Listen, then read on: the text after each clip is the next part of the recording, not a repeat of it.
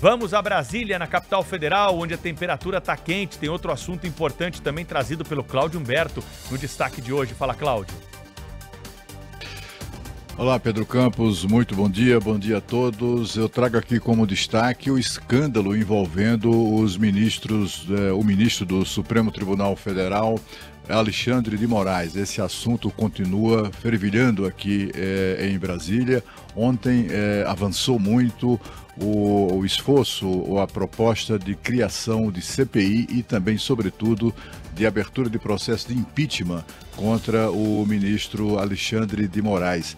Em apenas no primeiro dia de tramitação do requerimento, 101 deputados federais assinaram o pedido de impeachment de Alexandre de Moraes. Não há assinatura de senadores, porque, ao contrário, por exemplo, do próprio Supremo, no Senado, quem julga não participa do processo de denúncia do, daquele que pode vir a ser julgado em processo de impeachment. Portanto, os senadores não assinam o pedido de esse, exatamente esse pedido de impeachment. É, ele está sendo assinado apenas por deputados federais.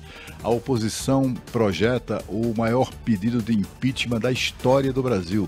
Nunca nenhuma autoridade terá tido tantas adesões eh, de parlamentares a, a, um pedido de impeachment, como eh, será o caso de Alexandre de Moraes, de acordo com eh, lideranças da oposição.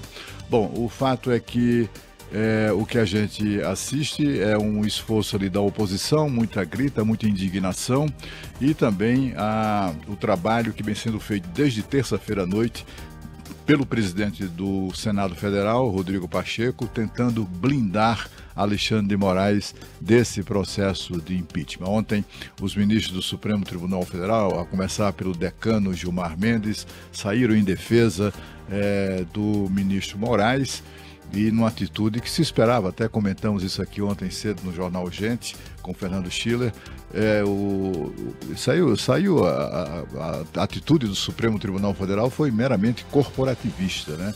sem nem mesmo apurar os fatos gravíssimos constatados na troca de mensagens de juízes que assessoram Alexandre de Moraes é, no Supremo Tribunal Federal e também no Tribunal Superior Eleitoral. Uh, os ministros nem sequer esperaram a conclusão da série de reportagem da Folha de São Paulo para dizer nada disso aí importa, nada disso é, nada disso é relevante, etc.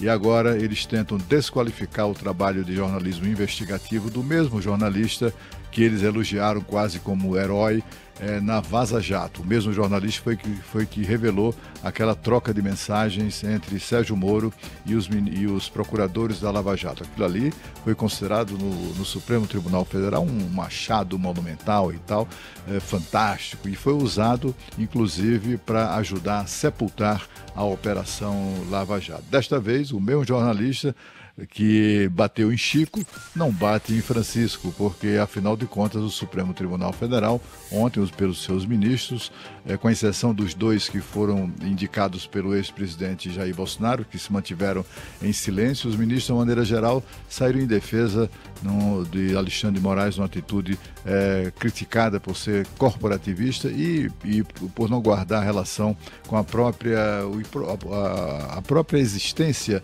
de uma Corte Suprema, de uma Corte de Justiça, que é de apurar a verdade dos fatos. Né? Nada disso parece estar no horizonte do Supremo Tribunal Federal. Agora,